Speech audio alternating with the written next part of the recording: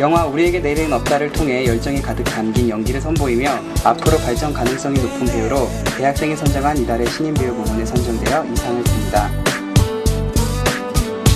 Even in my heart, I see you're not being true to me. 그 영화 우리는 우리에게 내일은 없다라는 아주 작지만 소중한 영화가 개봉을 해서 이 많은 관객분들이 그 유아인 씨의 연기를 보고 어, 굉장히 앞으로 발전 가능성이 높고 정말 신선한 연기였다라는 평가를 많이 해주셨는데요.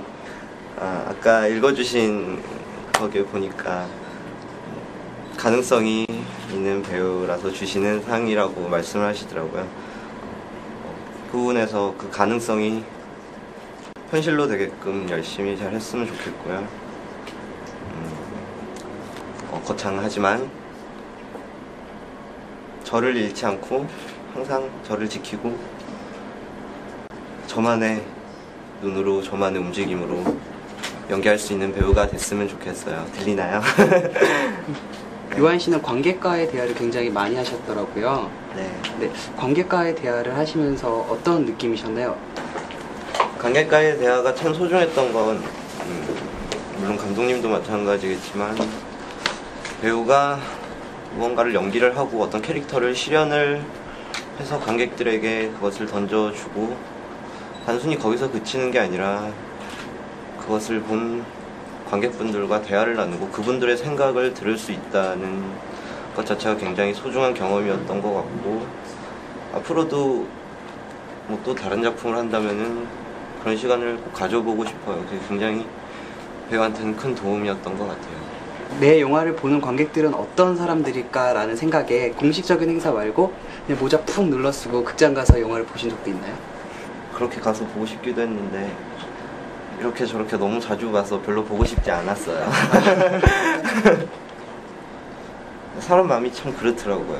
뭐 어떻게 느끼나 보다 사람이 요거밖에 없나 그런 생각밖에 안 들고요. 그랬던 것 같아요. 아, 유아인 씨 하면 제일 먼저 사람들이 이렇게 떠올리는 게 반올림. 그만큼 많은 분들이 그 첫그 캐릭터였던 공림의 남자친구 역할에 아직도 많은 분들이 그 기억을 하고 계신다는 건데 그만큼 청소년분들 특히 뭐 여학생 분들에게 인기가 많았던 아인 씨가 약간 오랜 휴식기를 가지고 영화로 이렇게 저희한테 다가오셨어요. 거창한 이유는 없어요. 그냥 제가 하고 싶은 거 했던 것 뿐이고 제가 공백을 가졌어야 했던 이유는 제가 하고 싶지 않았던 걸 했어야 했기 때문이고 그냥 저는 제가 하고 싶은 걸 해야 했기 때문인 것 같아요. 그 반올림 당시 굉장한 인기 스타로 급부상하셨었어요. 근데 갑자기 이렇게 공백기를 가지면서도 되게 많이 연기에 대한 생각도 하셨을 테고 그러셨을 텐데 어떻게 그 기간을 준비하셨나요? 제가 반올림이 저한테 물론 소중한 작품이지만 반올림을 하면서 내가 내 또래 친구들이 갖지 못한 특별한 것들은 갖고 있지만 그보다 더 소중한 너무 보편적인 것들, 보통의 것들을 느끼지 못하거나 겪지 못하고 있진 않을까라는 생각을 했기 때문에 그냥 많이 어찌 보면 많이 놀았죠. 좋게 말하면 그런 거고 네. 많이 놀고 많이 제 시간을 보내고 많이 저를 돌아보는 시간을 많이 가졌던 것 같아요. 그리고 저는 아직도 그게 더 중요한 거라고 생각해요. 연기라는 것보다 연기를 공부하는 것보다 그냥 세상을 배운다고 해야 되나 사람을 배운다고 해야 되나 그런 부분들이 배우에게는 연기라는 것보다 더 큰 부분이 아닐까 그게 더 중요한 부분이 아닐까라고 생각해요. 네. 관객과의 대화를 하면서 유아인 씨가 이 영화의 종대를 보면서 자기가 방황했던 그거랑 비슷함을 느꼈다고 말씀을 하셨었잖아요. 그러면 연기를 할 때 종대가 그러니까 아인 씨가 종대를 연기를 했을 때 종대라는 인물에 원래 부여되어 있던 캐릭터 말고 아인 씨의 성격을 그 종대라는 캐릭터에 삽입한 적은 없었는지. 제가 뭐 딱히 전문적으로 캐릭터를 분석한다거나 막 그런 성격이 못 되는지 그런 게 안 돼요. 그냥 그래서 내가 어떤 부분을 특별히 나를 녹여냈다 혹은 삽입을 했다라는 거는 딱 특별하게 말씀드리기가 어렵고요. 그건 뭐 감사하게도 종대는 유아인이다라고 말씀해 주셨는데 그랬다면 아주 기본적으로 그 아이의 눈빛, 그 아이의 말투, 그 아이의 손짓, 행동 하나하나 모든 게 제 자신이 가식이 없다, 없었다면 의도적이지 않았다면 그건 그냥 제 모습이 아니었을까라는 생각이에요. 되게 매번 하실 때마다 아인 씨가 종대라고 그러잖아요. 근데 가끔씩 기수가 되고 싶은 적은 없으셨는지. 사실 영화를 보시고도 저런 사람이 있을 수가 있을까라고 생각하시는 분들이 많은데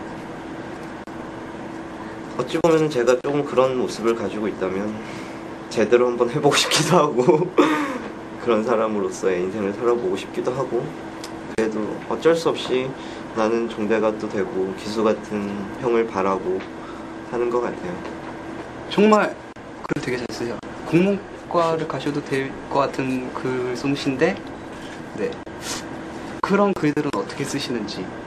아 그냥 성격 자체가 워낙 말은 많지 않은데 뭔가를 표현하지 못하면 죽을 수도 있는 성격이라서 항상 거기에다가라고 거기에다라도 표현을 하려고 하는 편이고요.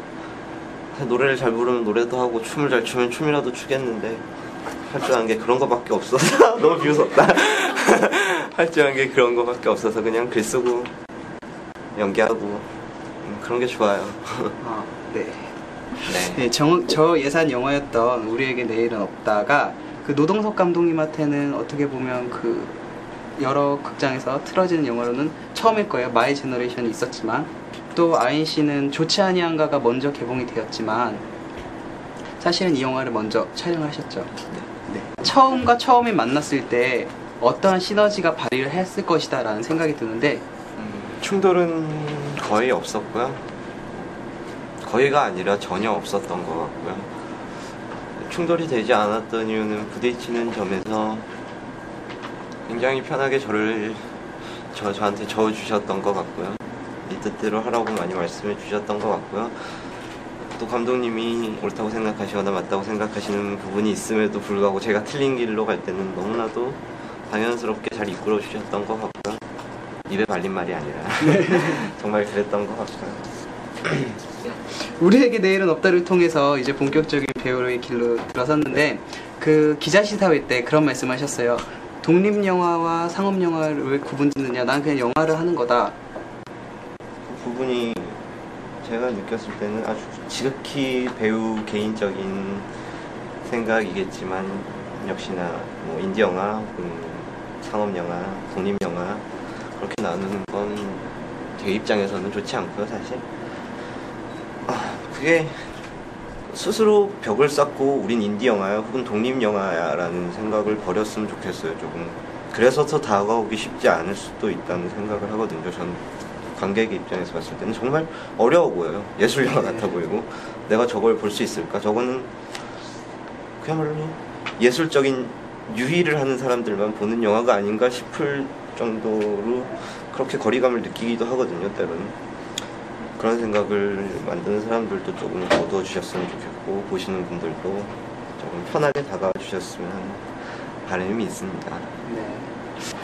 앞으로 뭐 어떤 캐릭터를 좀 해보고 싶으세요? 사실 다양하게 하고 싶진 않고요. 항상 그 중심에는 제가 있는 것 같아요. 저를 말할 수 없다거나 혹은 제가 말할 수 없는 건 하고 싶지 않고 할 수도 없을 것 같고 해선 안 될 것 같다는 생각이 들고요.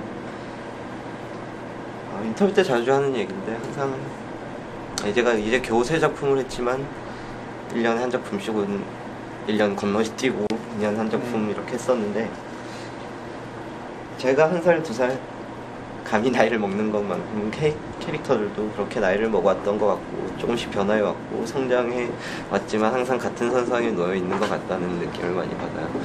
그 선에서 많이 벗어나지 않게 아주 자연스럽게 음, 연기하는 게 아니라 저 안에서 살아있구나라는 걸 느끼실 수 있을 만큼 자연스럽게 가고 싶어요.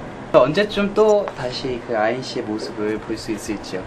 또 가장 좋은 작품을 찾아서 할 생각이고요. 굳이 영화가 아니라도 TV라는 매체가 매체로 다시 가더라도 좋은 작품 찾아서 아까 말씀해 주셨던 것처럼 역시나 기대를 저버릴 수 없고 그건 제 자신에게도 마찬가지로 제 자신의 기대 기준치를 벗어나지 않는 한에서 가장 좋은 작품을 통해서 여러분 만나뵙고 싶, 싶어요.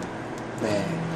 영화를 사랑해 주시고 그것에 대한 열정을 가져 주신 분들이 항상 계셔 주신다는 거에 너무나도 감사하고 기쁜 마음이고 언제나 함께 했으면 좋겠다는 바람도 가져 어, 정말 항상 특별한 관객분들과 함께 해서 감사합니다라고 얘기하지만 그런 사람들이 혹은 그런 여러분이 특별하지 않은 날이 빨리 왔으면 좋겠고요. 더 열심히 하겠습니다. 열정 잃지 마시길 바랍니다. 감사합니다.